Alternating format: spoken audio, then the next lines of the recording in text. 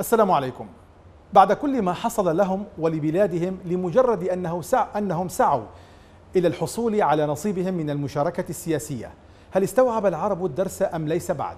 وبعد تجلي هذا القدر من الأهمية السياسية والجغرافية لمنطقتهم وتسابق الدول الكبرى على تقاسم كعكة النفوذ في البلدان التي شهدت انتفاضات بعد ذلك هل ما زال العرب على عنادهم في انتزاع ما يرونه حقا سليبا وهو هنا حريتهم السياسية والفكرية والاقتصادية؟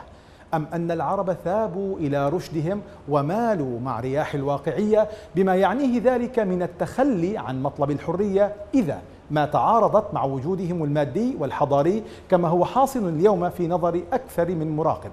مشاهدينا الكرام أهلا وسهلا بكم إلى حلقة جديدة من برنامج حديث العرب نحاول فيها أن نقيس حرارة الحب بين الشعوب العربية وبين الحرية في ظرف تاريخي حساس تمر به المنطقة. أهي الحرية أم أنها الفوضى؟ أهذا ما كان يطمح إليه الثائرون في ميادين الربيع العربي؟ أم أن قوة ما تمكنت من تحويل الحلم إلى كابوس ثقيل يخيم على أرجاء المشهد العربي؟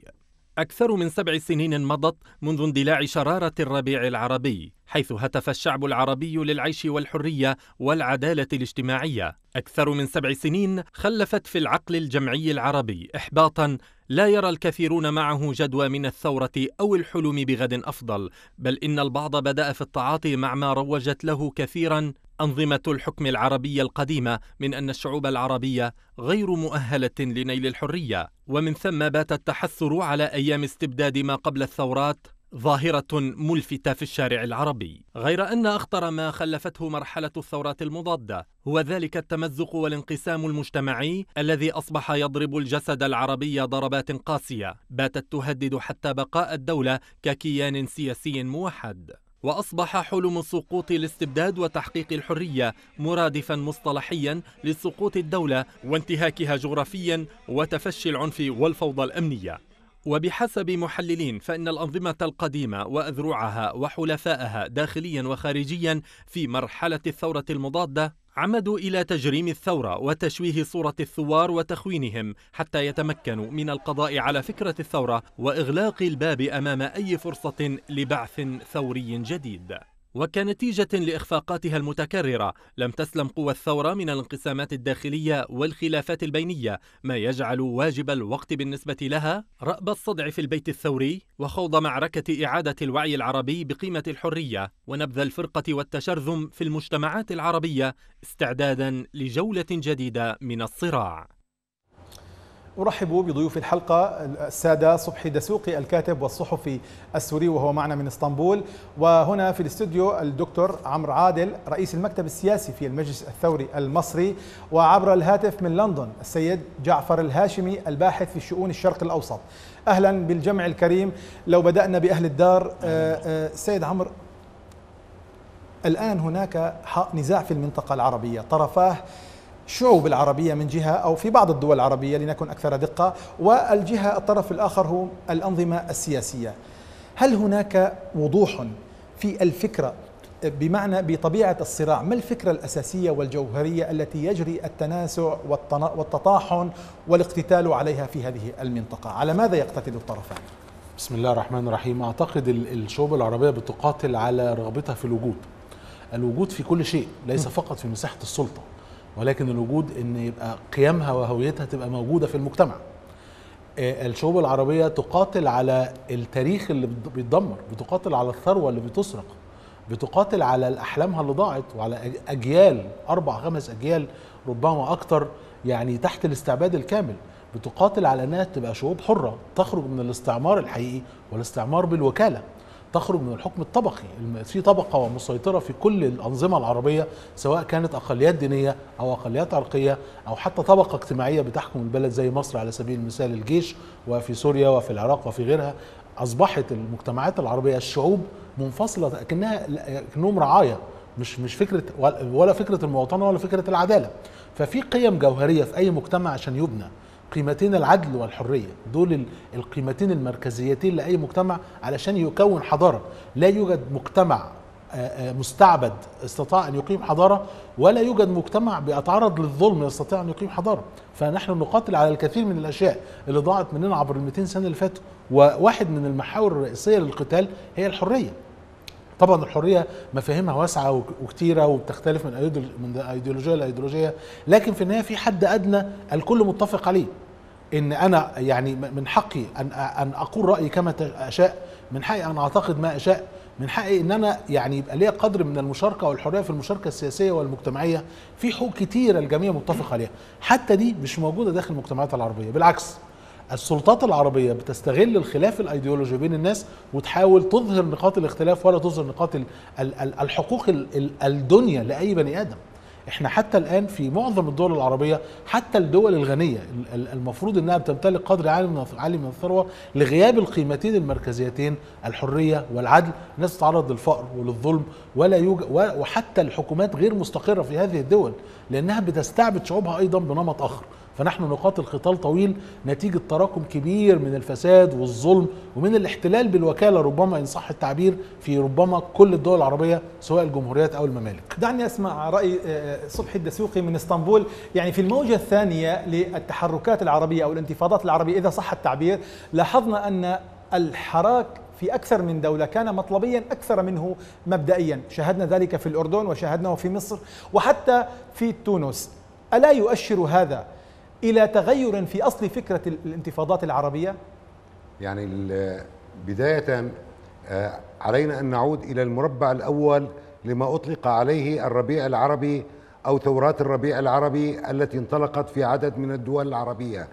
أنا أقول أن تراكم الظلم، تراكم الاستغلال، تراكم وأد الحرية من قبل الحكام لهذه الشعوب أسهم بطريقة ما أو بأخرى بهذه الانتفاضات هذه الثورات سميها ما شئت لكنها هي محاولة لوضع العراقيل أمام مسلسل العبوديات المستمر الذي امتهنه قادة الدول العربية من حكام ورؤساء وملوك وفرضوا ما يريدون فرضه على شعوبهم ويعني أمعنوا في إذلال هذه الشعوب وفرض آه، يعني آه، أمور مثل الخوف يعني آه، إما أن يخافوا وإما أن يستسلموا لما يريده الحاكم وإما هناك مصيرهم. القتل أو آه، إرسالهم خارج لكن البلاد. لكن آه، آه، سيد سيد صبحي هذا كان ما تقوله هو صحيح ولكن كان في الموجة الأولى من التحرك من التحرك الشارع العربي. لكن الآن نلاحظ أن الموجة الثانية ترتكز على مطالب ثورة مطلب يعني تحركات مطلبية. يريدون تحسين مستوى الدخل يريدون العودة عن رفع أسعار البترول يريدون إلى آخره. ثورة مطلبية ألا يؤشر ذلك إلى تراجع؟ مطلب الحرية لدى الوجدان الجمعي العربي إذا صح التعبير؟ يعني أعتقد أن مطلب الحرية هو مطلب إنساني لأنه هو آه، حالة غريزية ولدت مع الإنسان لا يمكن للإنسان يعني يمكن للإنسان أن يتخلى عن الكثير من المطالب عن عن الكثير من الأحلام، الكثير من الرغبات، الكثير من الطموحات، لكنه لا يمكن بطريقة ما أو بأخرى عن أن يتخلى عن الحرية، لأن الحرية هي أثمن ما يعني ما ما وجد في هذه الحياة، لذلك الإنسان يعني يمكن أن يتخلى عن أي شيء آخر وببساطة لكنه لا يمكن أن يتخلى عن حريته. في البلدان العربية الحرية. لكن العرب تخلوا عن حريتهم عقودا من الزمان آه يعني هناك يعني حالة القمع حالة الإذلال حالة العبودية حالة الضغط حالة نوع من الخداع التي مارسها الحكام العرب بأنهم آه، يجندون ويضعون كل الإمكانيات من أجل القضية الكبرى من أجل محاربة إسرائيل. كانوا يذلون شعوبهم وأي إنسان يفكر أو يجاهر بطلبه للحرية كان يحاصر وكان مصيره القتل والتعذيب وإيداعه في غياب السجون. لذلك أنا أقول أن مطلب الحرية هو المطلب الأهم. قد تكون هناك آه، يعني مرت الثورات العربية بالكثير من التراجعات. نعم يعني بفضل آه، دخول الفصائل المسلحة بفضل دخول العديد من الأجندة التي لا تتوافق مع رغبات الشعوب ومع حلمها بالحرية والكرامة. لذلك أنا أقول أن كل آه، يعني العالم بأكمله بما فيهم حكام العرب ملوك العرب بما فيهم إسرائيل بما فيهم كل الفصائل التي حملت الأسلحة كانت آه، مجتمعة على رغبتها بوأد الحلم العربي. هي أرادت أن تقتال طموح الإنسان بتحقيق حلمه. يعني لو نجحت هذه الثورات لغيرت وجه العالم لاستطاعت بطريقة ما أو بأخرى أن تصل إلى مصاف الدول العظمى من خلال امتلاكها لهذه الحرية التي يمكنها من إطلاق قدراتهم الكبيرة نعم. في تحقيق الكثير من الاختراعات ومن الكثير من العلوم والوصول إلى مصاف الدول العظمى. دعني أذهب إلى لندن. يعني آه، سيد آه، جعفر بناء على ما قاله الضيفان وبناء وهو الأهم على المعطيات الدولية والميدانية وحتى الداخلية في الدول العربية التي شهدت انتفاضات برأيك هل يمكن القول إن العرب صاروا أكثر واقعية وأن مطلب الحرية السياسية الذي يمكن أن يحدث ثورة في طبيعة هذه المجتمعات بما يمثله ذلك من تمرد على مصالح الدول الكبرى في المنطقة هل وضع هؤلاء العرب الذين صاروا واقعيين بحسب نظر بعض المراقبين هل وضعوا الحرية في مرتبة متدنية في سلم الأولويات في هذه المرحلة؟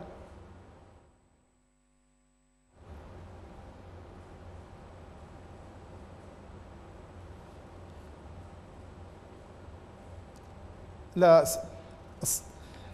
نعم الصوت غير واضح. أرجو أن تسمعني. سأعيد السؤال عليك. آه، يبدو أن الصوت غير واضح. نعود إليه مرة أخرى. آه، آه، سيد عمرو عادل. يعني بعد ما شهدته المنطقة من أهوال ويعني وتدخل كل دول العالم تقريبا في المنطقة العربية برزت الأهمية الجيوسياسية لهذه المنطقة. لكن الملاحظ أن هل الحرية الآن برأيك يعني السؤال وإن طرحناه بطريقة أخرى. ما زالت مطلبا أساسيا لدى هؤلاء العرب الذين رأوا أن كل مصالح العالم تجتمع في منطقتهم شوف حضرتك أصل هي الحرية ليست مطلبا ده جزء من تكوين ال- النفس البشرية لأي حد. قد تكبت قد آه، تخنق آه، لكن الإنسان بيولد حر. دي دي حاجة مركزية في داخله ما يقدرش يعني يتنازل عنها ال- ال- الأنظمة والحكومات المستبدة بتفعل كل ما تشاء العرب تنازلوا عنها لم يتنازلوا. عنها ما- متى يعني تنازل العرب عن منذ؟ العقود وهم يعيشون في ظل يعيشون أنظمة في خداع وليس تنازع الحرية كيف هو اللي؟ بيحصل ألم يكن هناك تعذيب وهناك قتل نعم، وهناك نعم. اعتقال وهناك في كل مصادرة مكان لحرية صحيح. الصحافة أين الخداع؟ لكن لما تتكلم على مجتمع 100 مليون هتكلم عن مصر على سبيل المثال في 50 60 ألف السجون والمعتقلات ومنفصلين عن ال 100 مليون آه ده يعتبر أقلية. الباقي مخدوع طبعا.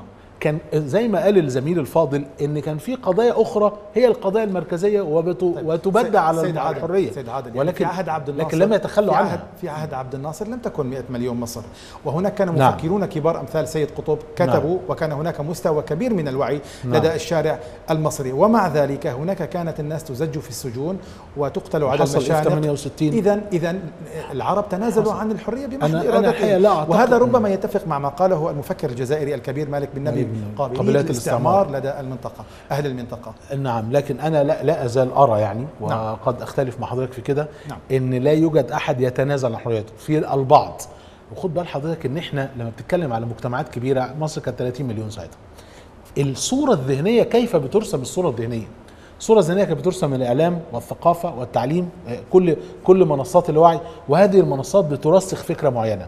هو في حجب للحرية داخل الإنسان وتغيير مفهوم عن حاجة تانية. لكن لا يمكن حد يتنازل عنه. هو بيعتبر إن هو كده حر. يعني هو بيغير له مفهوم الحرية بحيث يعتبر إن في هذا المسار هي قمة الحرية. قمة الحرية ان نحرر فلسطين. أيوه كويس بس أنت بتتعامل معه مش مهم بس ده المفهوم. لكن حرية ال ال وقمة الحرية إن أنت بقى معاك تعليم مجاني قمة الحرية فبالتالي المفاهيم بتحور بتتغير. لكن لا يمكن حد يقدر يتنازل عن حريته. هو بي بيتحط في مسار خاطئ. لكن دايما في كتلة صابرة ومقاومة في كل مجتمع هي اللي بت بتعيد الوعي مرة ثانية حتى لو تعرضت تصنيف هذه الحرية. حتى لو مثلت الحصول على هذه الحرية تهديدا وجوديا. نعم. لو أمنت ما كل من يؤمن بفكرة الحرية لأن الحرية جزء ملاصق للوجود. إذا تنازلت عنها فتتنازل عن وجودك.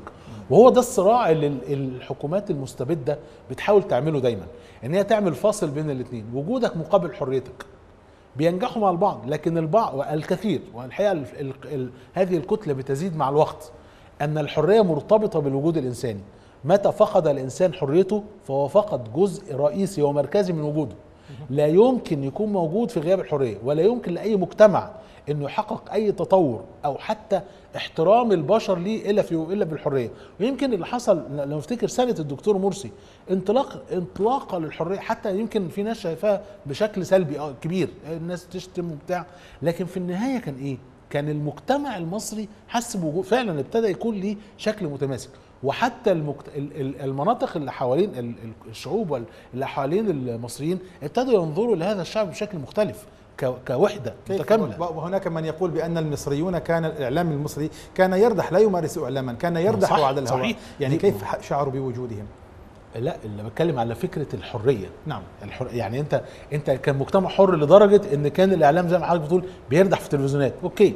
بس مساحة الحرية الواسعة خلت في ناس يعني حتى مع انتقادنا ليهم بيعملوا أفعال سيئة جدا في الشارع بدعوى الحرية. ده تطرف في مفهوم الحرية لكن هيتم ضبطه. لا يمكن مفهوم الحرية يضبط بإطار أمني.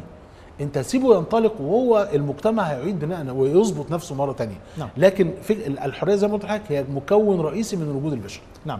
دعني أعود مرة أخرى إلى لندن. أرجو أن يكون الصوت أصبح جاهزا. سيد جعفر يعني بناء على المعطيات الدولية والإقليمية وحتى ما يحصل في داخل الدول العربية وتدخل كل دول العالم في هذه الجغرافيا الحساسة.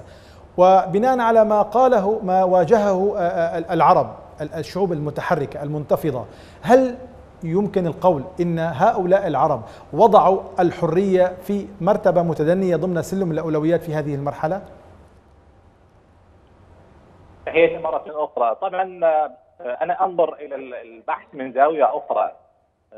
أنظر بأنه المجتمعات العربية نتيجة الاستبداد كماشة الاستبداد والاستعمار الطويلة.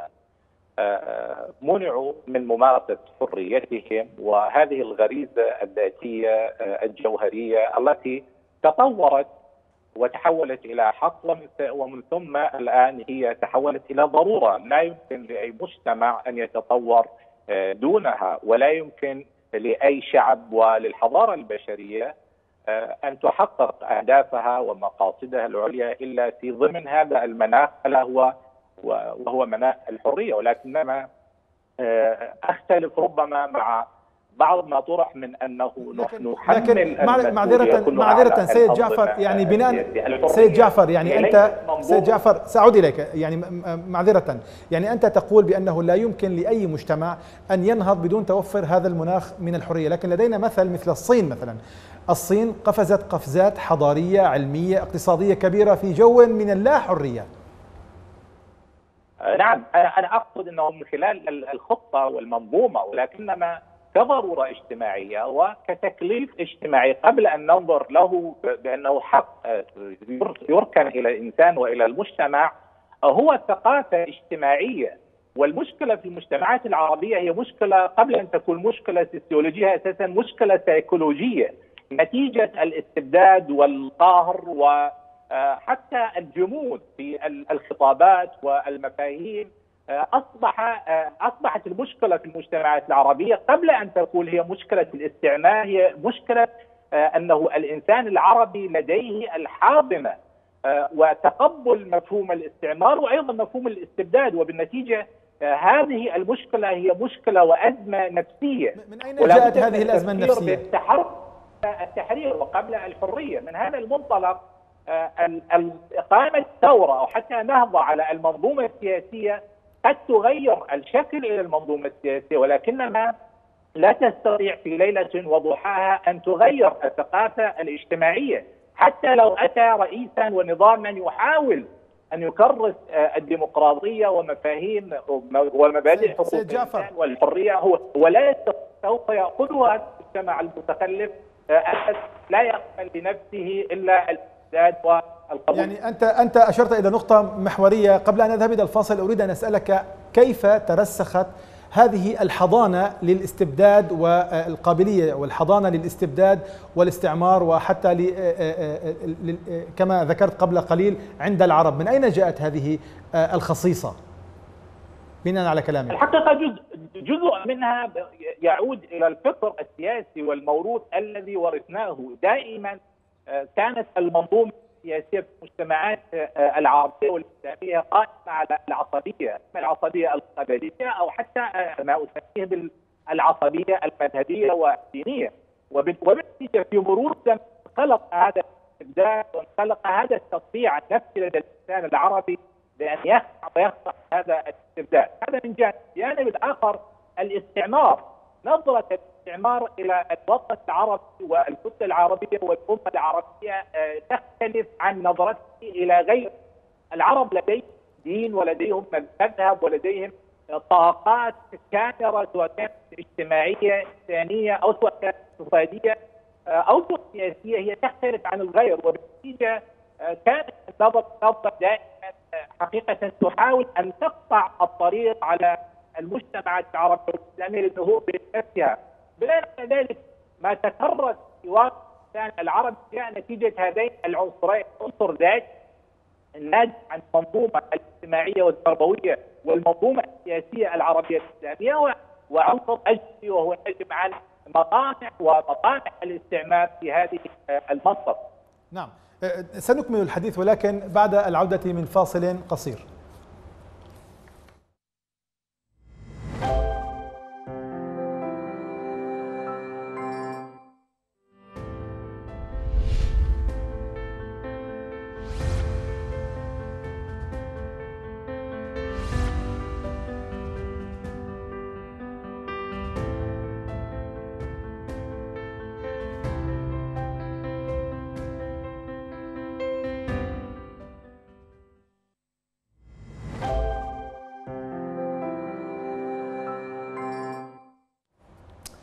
أسعدكم الله ما زلنا وإياكم في الحديث عن العرب والحرية المفقودة. عودة إلى إسطنبول. سيد دسوقي الوطن العربي منذ ثلاثة عقود بلا ثقافة الحرية وإلى بلا مؤسسات تمارس الحرية وبلا تنشئة اجتماعية وتعليمية تقود إلى بالنهاية إلى التمتع بمفهوم واعي وناضج للحرية. ألا يقود كل هذا الأمر إلى السؤال عن مدى أهمية هذا المفهوم الذي يدندن حوله بعض المثقفين العرب من برجهم العاجي بأن العرب تثور من أجل الحرية بينما الوقائع تثبت يوما بعد آخر أن القضية أكثر من أقل من حرية وإنما هي قضية معيشة تريد الناس أن تعيش.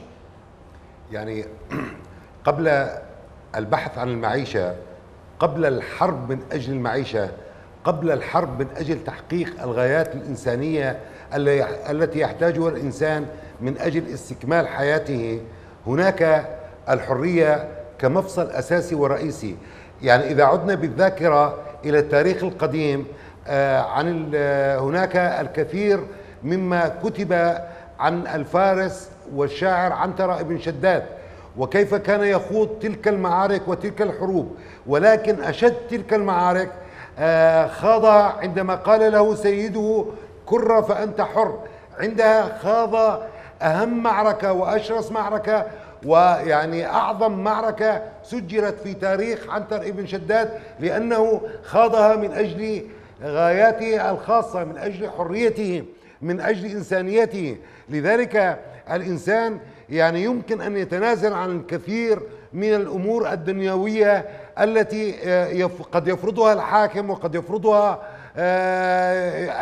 المدير وقد يفرضها رئيسه في العمل. ولكنه لا يمكن مطلقا أن أن يستكين عندما تسلب منه حريته. أنا أقول خلال العقود الماضية مارس الحكام هذا الضغط الكبير على شعوبهم من أجل إذلالهم ومن أجل تركهم يعني خانعين في بيت العبودية. إلا إلا أن الأدباء والمفكرين مارسوا الكثير من المعزوفات حول الحرية وحول مفهومها وحول أهميتها وحول يعني تسويقها للآخر بطرق فنية تخلد الحرية كما يليق بها.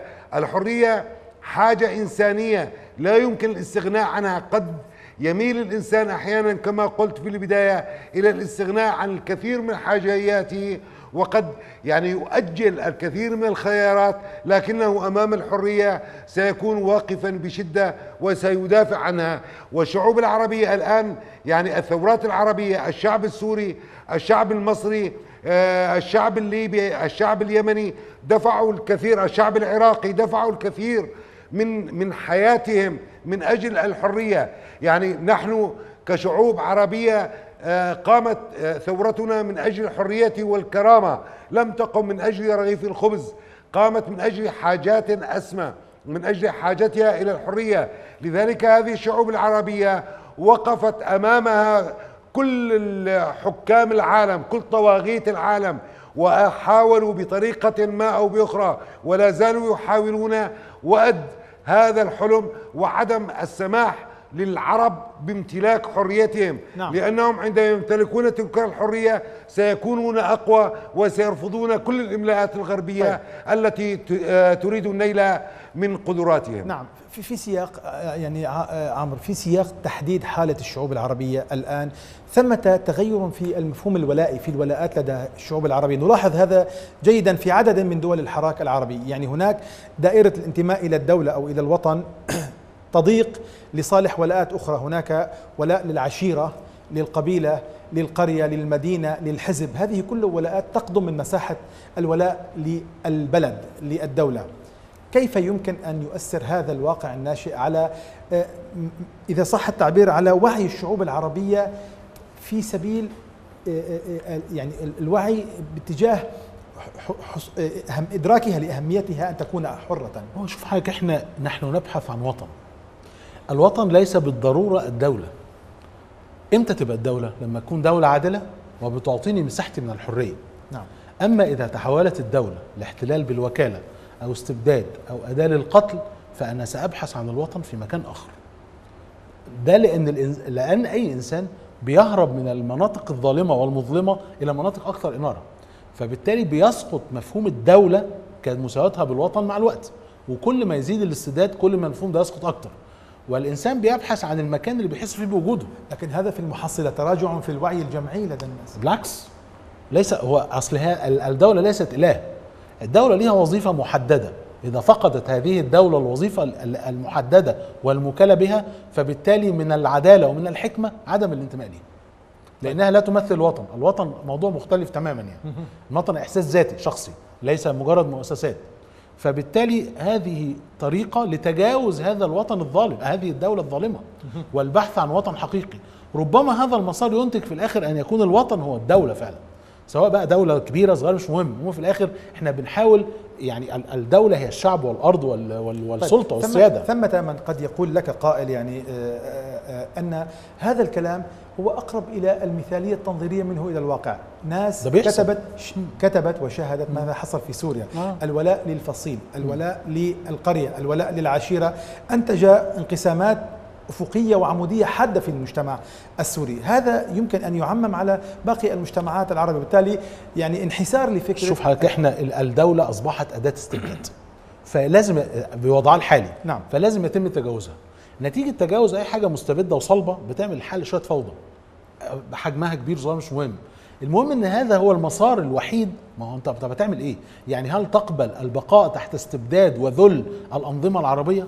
طبعا لا لازم تخرج من تحتها وأول محل للخروج هو التمرد على الولاء أنا لا اولي هذا والإنسان بطبعه إنسان آه، يعني يوجد في مجتمع فبالتالي لازم يوجه هذا الولاء إلى مجتمع ما هذه الفترة هي هتنتج في النهاية ولاء حقيقي لكل لكل الأمة، في ناس تتكلم على فكرة الدولة الإسلامية الكبيرة أو الخلافة، وناس تتكلم على حاجة يعني أمور تانية مش مهم، المهم في الآخر إن هذا هذه القصة ستؤدي إلى ولاءات في النهاية، أنا الحقيقة بس عندي تعليق على فكرة يعني تحميل الشعوب قدر أكتر من اللازم في فكرة ال ال ال يعني إن هم بيحبوا الاستعباد أو يعني يقبلوا يعني تعليقا على ما قاله جعفر الهاشمي. آه يعني آه يعني الحقيقة أنا يعني أرجو الاختصار. أرجو آه باختصار شديد إن كل الشعوب في التاريخ لو بصينا هنلاقي إن سلوكياتها بتتأثر بالاستبداد.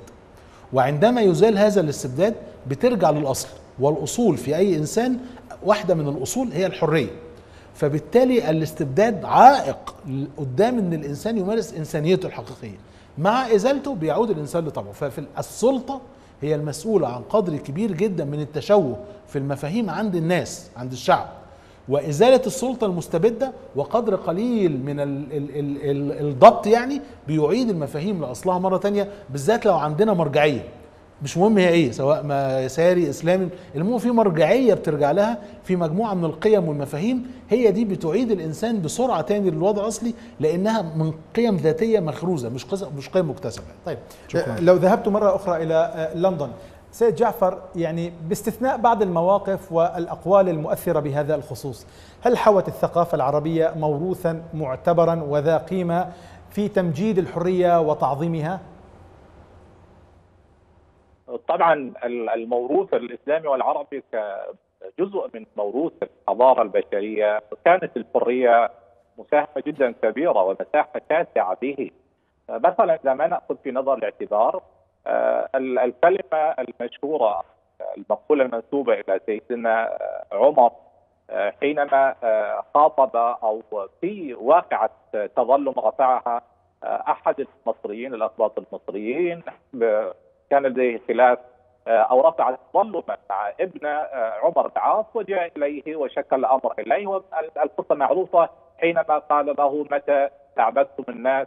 وقد ولدتهم أمهم أحرارا. وهكذا نسمع هذا الخطاب من سيدنا الحسين في يوم حينما خاطب آه، الناس وقال لهم إن لم يكن لكم دين ولا تخافون المعاد فكونوا أحرارا كنتم عربا كما تزعمون. وهذا ابن خلدون أيضا في مقدمته حينما يشير إلى ضرورة السلطة يرى السلطة واجبها أو الدولة واجبها الأساسي هو آه، آه، ال- الدفاع عن حرية وضمان حرية المجتمع أمام الناس الذين يريدون أن يتعدون ويتجاوزون آه، على الحرية، أنا حينما أتحدث عن الحرية وفي سياق ما تفضلتم في السؤال السابق أقول بأنه حينما نحن نتحدث عن الحرية يجب أن نؤمن بمبدأ واقعي وحقيقي اسمه الحرية، ليس في أدبيات منمقة وأشعار ومشاعر وأحاسيس أو أنه مثلا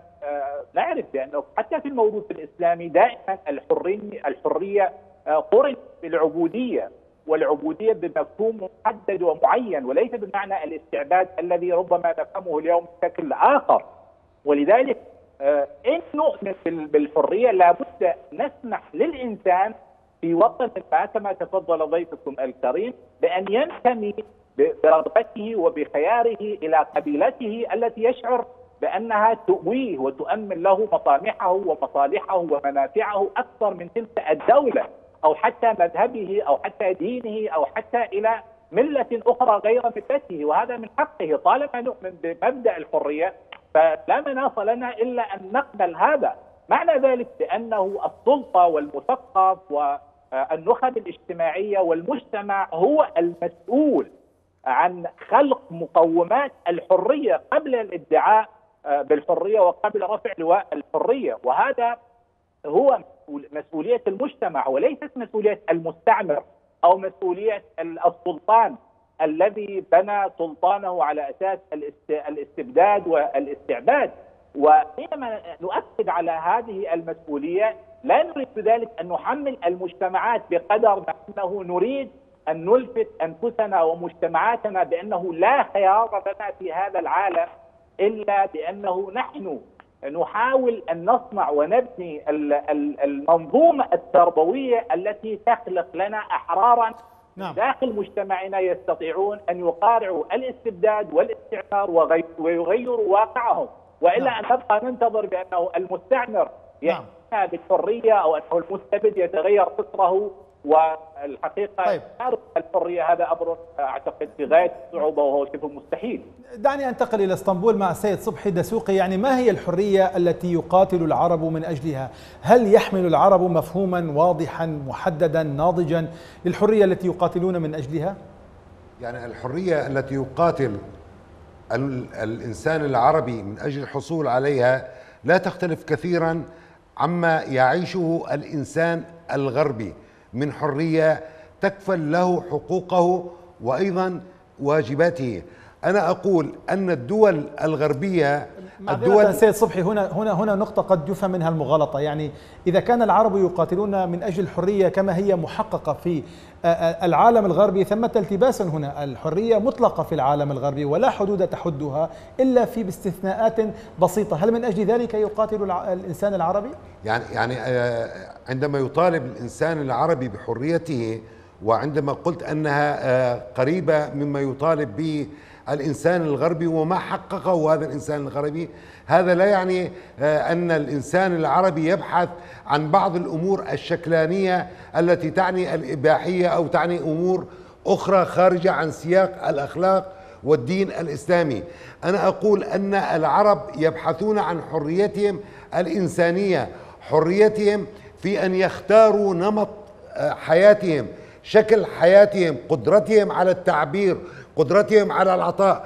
أنا مثلا ككاتب قصة لا يمكن لي أن أكتب نصا قصصيا إبداعيا دون أن أغلفه بالكثير من الرموز لأنني أخشى من عين الرقيب من السلطة الحاكمة التي يمكن أن تقوم باغتيال هذا الكتاب وهذا النص واستبعاده. لذلك الحرية التي نطلبها طيب. هي تلك الحرية التي تتمسك سيد صبحي معذرة وإذا قال لك قائل إنها قد حصل العرب على الحرية في بعض مناطقهم كما حصل في سوريا وفي اليمن وحتى في مصر وانقلب الأمر إلى انقسام فيما بينهم وتقاتل وتحول كل حزب وكل فرقة وكل فصيل إلى أمة بذاتها ألا يعني ذلك أن هذه الشعوب الآن على الأقل ليست مؤهلة لهذه الحرية كما يقول الأنظمة؟ يعني الشعوب العربية يعني هي هي أكثر رقيا وأكثر نقاء وأكثر قدرة على على يعني عندما تمتلك حريتها على أن تتعامل معها بذات الرقي وذات الإحساس. لو عدنا إلى إلى بدايات الربيع العربي والذي أخاف الاستعمار الغربي الذي يريد آه، التحكم بمنطقة الشرق الأوسط بالبلدان العربية من أجل الاستئثار بالنفط والأموال.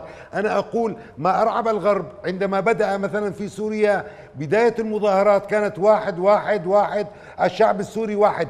هذا أرعب الغرب أرعب إسرائيل أرعب الأقليات. لذلك قام الغرب بإرسال يعني كل إمكانياتهم من الأحزاب من أجل إجهاض هذه الثورات. أرسلوا داعش نعم. أرسلوا النصرة أرسلوا البيدة أرسلوا الكثير من الأمور. فقط آه وسهلوا لروسيا وإيران الاستيلاء على سوريا وذبح الشعب السوري من أجل إلغاء فكرة أن واحد واحد الشعب السوري واحد. هم لا يريدون أن يصل الإنسان السوري إلى أن يكون مع الإنسان الآخر يعني متلاصقان وقادران على الفعل نعم. وقادران على إحداث تغيير حقيقي في الحياة السورية لذلك هم يريدون مجرد حكام يتبعون لما تريده الغرب وحكام الغرب ويفرضون الإملاءات التي يريدونها ويقومون نعم. بحماية إسرائيل وتقوية إسرائيل على حساب تدمير المدن العربية وقتل الشعب العربي نعم. المسلم السني نعم ولكن كيف السبيل إلى هذه البغية العزيزة الثمينة وهي الحرية بعد الفاصل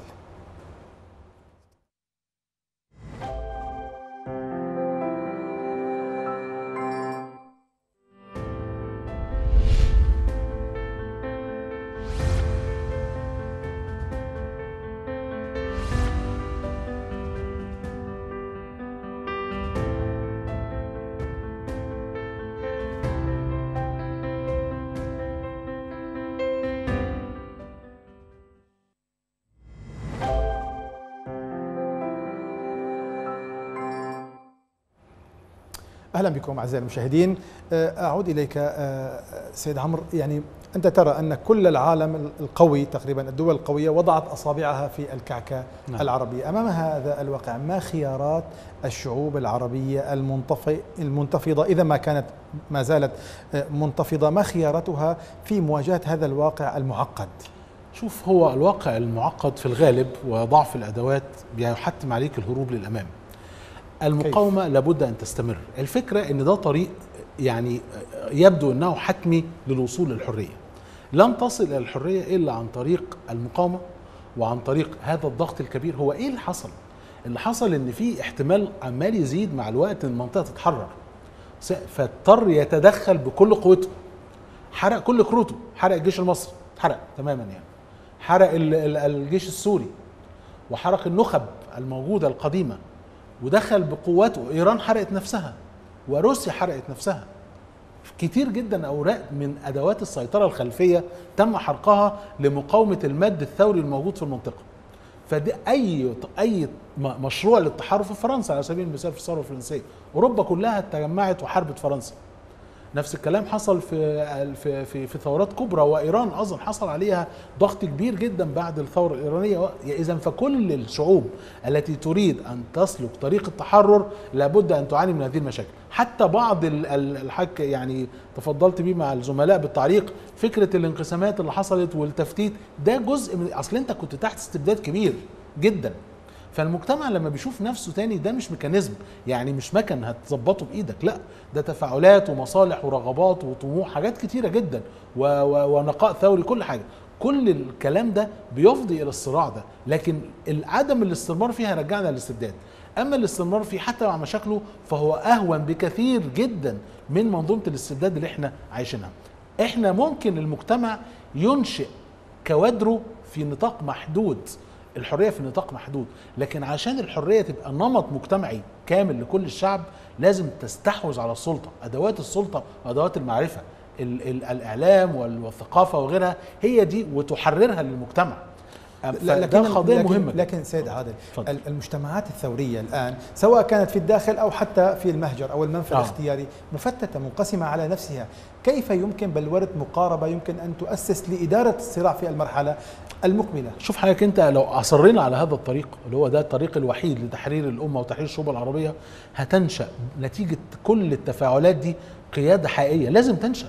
لازم تنشأ قيادة حقيقية ميدانية تتجاوز كل القديم كل الناس اللي موجودة دي. دي مرحلة انتقالية للوصول لل... لل... للمسار الصحيح اللي هيوصلنا في النهاية للحل. اذا ف... وزي ما قلت لحضرتك ده نمط طبيعي جدا و... و... ومسار طبيعي للثورات. فكرة الصراع بين ال... بين القوى وتنشأ في الآخر شيء قوي وقوة تستطيع فعلا إنها تدير المجتمع أن يحرر نفسه. نعم. دعني أذهب إلى لندن. يعني سيد جعفر الثورة حتى تنتصر أو حتى تسير قدما إلى الأمام الشعوب العربية ينبغي لها بنية تحتية فكرية تنظيرية علمية. إلى أي درجة؟ تلحظ أن هناك حراكا فكريا قويا وعميقا يؤسس لبزوغ أو تحقيق الحرية العربيه في المدى المنظور.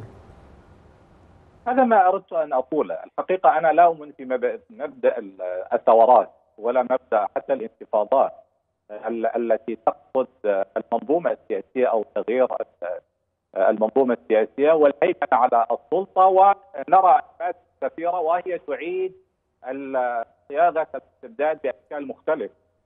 ضيفكم الكريم تحدث عن إيران، قال منذ 40 عام حدثت فيها ثورة، هناك نضال أكثر قرن ولكنما أين وصلت إيران الآن؟ الان الآن إيران في الحضيض. ليس نتيجة تدخلها في سوريا وإنما نتيجة هيمنة الفكر السياسي المنغلق الأيديولوجي الضيق العصبي. حول كل هذا الحراك طيلة ما يقارن قارن إلى هباء منثور.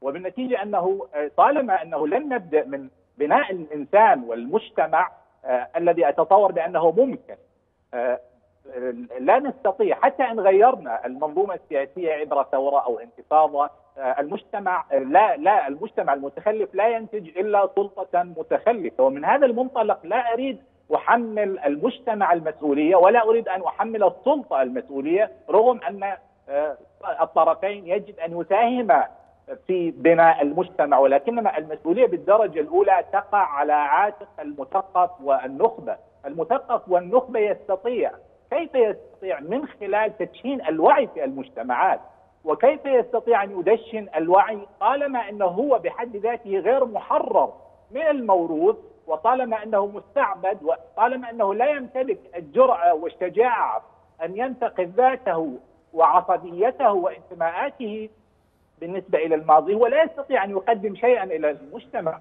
ولذلك نحن لدينا غير الأزمة النفسية الاجتماعية لدينا أزمة فكرية نخبوية. في خضم هذا هذا الصدام أو في خضم هذا الالتئام العالمي وثورة المعلومات والمعرفة لا أتصور بأن هناك مشكلة للمجتمعات أن تكون على خط تماس مع هذه الثورة المعرفية والتقنية نعم. والتكنولوجيا ولكنما النخبه العربية ما الذي تستطيع أن تقدمه نعم. في خضم هذه الثورة أنا لا لا أتصور بأنه المثقف العربي هو الآن في مكان يستطيع أن ينقذ ذاته ينقذ موروثه أو يقدم عطاء نفسيا يغذي نعم. المجتمعات العربية وإذا نعم. ما أردنا حقيقة أن نفكر بتغيير حقيقي وجوهري يجب أن نفكر نهضة، نهضة تنطلق شرارتها من الإنسان المثقف النخبوي بنقد الموروث كل الموروث الديني والحضاري وبالنتيجة حتى عناصر ومقومات السلطة في مجتمعاتنا. عبر التاريخ والآن أيضا العناصر التي تنتج وتعيد صياغة السلطة في المجتمعات طيب. العربية أشرت إلى نقاط مهمة سيد جعفر معذرة أشرت إلى نقاط مهمة من ضمنها أن هناك غيابا فكريا بمعنى أن هناك أزمة فكرية يمكن أن تؤسس لمفهوم الحرية، هنا أريد أن أبني على هذا الكلام وأسأل صبحي دسوقي في ظل غياب أو في ظل هذه الأزمة الفكرية العربية، ما الوسائل الكفيلة بتحقيق الشعوب العربية حريتها؟ فقط أن أصحح ما قاله الأستاذ عمر عندما قال أن هناك محاولات لحرق الكثير من الفاعليات وضرب مثال عنها قال أنهم يحرقون الجيش السوري. هم العالم بأكمله لم يقترب من الجيش السوري بين قوسين جيش نظام الأسد. لقد قاموا العالم بأكمله.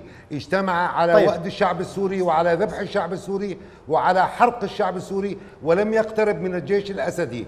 بل وقف مع الجيش الأسدي ومده بالمال هو والسلاح. سيد صبحي يعني دعني أصحح يعني هو يقصد يعني فكرة الجيش السوري بغض النظر عن تمثيليته. لكن لو عدنا إلى سؤالنا الوسائل الكفيلة لتحقيق أي شعب حريته في ظل وجود أزمة فكرية عند العرب؟ يعني كما يعني أجمع الضيفين الكريمين أن لا خيار أمام الشعب إلا يعني السير باتجاه ما يسمى المقاومة الشعبية، المقاومة المجتمعية، المقاومة الإنسانية. ست يعني ستنضوي وستنتهي ينتهي عصر الفصائل المسلحة التي أثبتت فشلها وأثبتت أنها مجرد تابعة للدول الاستعمارية أنها قد وجدت لإجهاض فكرة الثورات العربية وفكرة الحرية. لذلك لن يبقى خيار أمام الشعوب العربية إلا الاتجاه إلى المقاومة مقاومة المستعمر بكل أشكاله التي آه يعني بسطت آه سيطرتها على الدول العربية. ثانيا محاولة المقاومة أيضا من أجل التخلص من هؤلاء من هؤلاء الحكام الذين هم عبيد للأنظمة الغربية ومن وضعهم ومن يدعمهم هم الدول الغربية لذلك لا سبيل إلا إلى المقاومة المقاومة المسلحة الشعبية اثنين المقاومة الفكرية التي يجب على الأدباء والكتاب والفنانين والموسيقيين أن ينتهجوها نعم. وأن يكونوا بؤرة إشعاع تنير الدرب أمام تلك الفصائل وتوضح يعني الخيط الفاصل بين الحق وبين الباطل وطلب من الجميع من من الشعوب العربية الاصطفاف مع الحق. نعم وضحت الفكرة. لو سمحت لي بدقيقة آه لم يبقى إلا دقيقة. أنا القول لا سؤالي من فضلك. يعني أنا وضحت عنك الفكرة خاصة بالجيش السوري. الآن القول إن المقاومة المقاومة القاومة لم يبقى أمام العرب إلا المقاومة. نعم. هل هذا يبدو لك كلاما مثاليا صعب التحقيق في ظل إعادة صياغة النظام الدولي الجديد؟ لا بالعكس. يعني أنا شايف إن إحنا لازلنا نقاوم. ممكن اللي بيحصل في العراق بعد خلاص يعني آخر نقطة متوقع أن يحصل فيها حراك هي العراق ولكن حدث حراك في العراق. وسيحدث في مصر وسيستمر في سوريا واليمن وليبيا. لن تتوقف لأن خلاص أنت وصلت لمرحلة تشبع بالفساد وتشبع بالاحتلال الواضح ويعني أثبت عمليا أن كل الجيوش العربية هي أدوات للاحتلال فبالتالي ليس لنا حل الا المقاومة والشعوب هي التي ستقاوم يعني. أشكرك شكرا جزيلا. شكرا. أدركنا الوقت في ختام هذه الحلقة. أعزائي المشاهدين لا يسعني إلا أن أشكر ضيوفي معي في الاستديو عمر عادل رئيس المكتب السياسي في المجلس الثوري المصري ومن إسطنبول صبحي دسوقي الكاتب والصحفي السوري السوري. وكان معنا من لندن عبر سكايب الأستاذ جعفر الهاشمي الباحث في شؤون الشرق الأوسط شكرا لكم. إلى لقاء بمشيئة الله.